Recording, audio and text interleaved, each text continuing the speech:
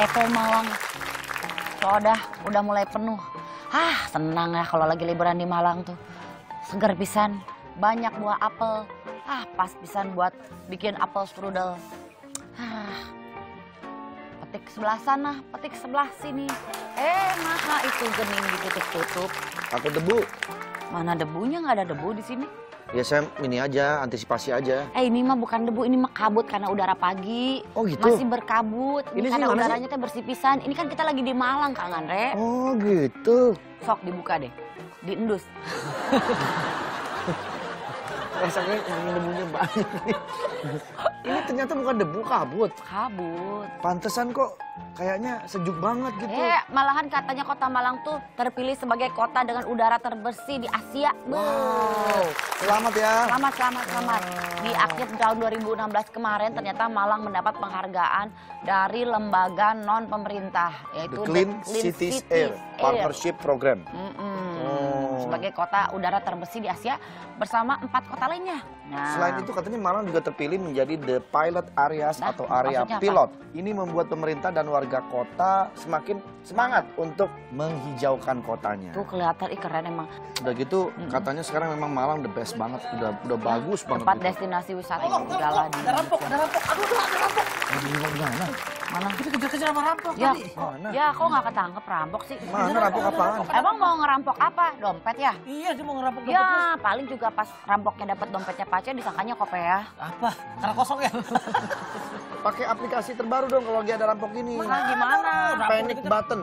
Apa? Nah itu ada aplikasi terbaru namanya Panic Button. Jadi ini cara ampuh membasmi kejahatan yang ada di Malang Oh, nih. hebat eh Malang. Hebat kan Malang? Punya panic button. Jadi tingginya kriminalitas membuat kepolisian Resort Malang menciptakan Panic Button, aplikasi pengaduan dan laporan masyarakat kepada pemerintah atau kepolisian. Hmm. Panic Button ini hanya berbasis Android. Mm-mm. Aplikasi ini memudahkan masyarakat untuk melaporkan kejahatan secara cepat.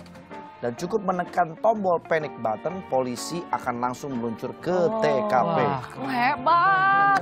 Kayak tuh di Jakarta juga begini. Udah kan kata panic button. Gue cari panic button dulu ya. Nyanya, Ya, nyanya, ya, ya, nyanya, ya. nyanya, nyanya. Tapi memang kota Malang ini banyak sekali perkembangan yang sangat pesat. kan ya. ada agrowisata Hmm. eh, yang di Malang tuh yang Hmm. petik apel. Petik apa? Ternyata di Malang tuh sama juga kayak yang di Bandung di Ciwidey itu ada petik stroberi petik kan. stroberi. Di Malang juga ada petik Oh. stroberi di Batu Malang. Hmm, Hanya dengan 25.000 bisa memetik stroberi sepuasnya di Iya, sana. habis itu dikiloin dan dibayar. Bener, dan Oh, iya, iya. menikmati sejuknya udara pegunungan. Ada di tayangannya nggak? Ada, ada, ada kita ada tayangannya. Jika sedang ke Jawa Timur, sempatkanlah mampir ke kota Batu untuk menikmati sejuknya udara pegunungan sekaligus menikmati berbagai fasilitas wisata yang ditawarkan. Salah satunya wisata petik stroberi. Seperti yang ditawarkan salah satu kebun yang dikelola oleh sebuah hotel ini. Deretan tanaman stroberi dengan buahnya yang berwarna merah semakin menambah daya tarik.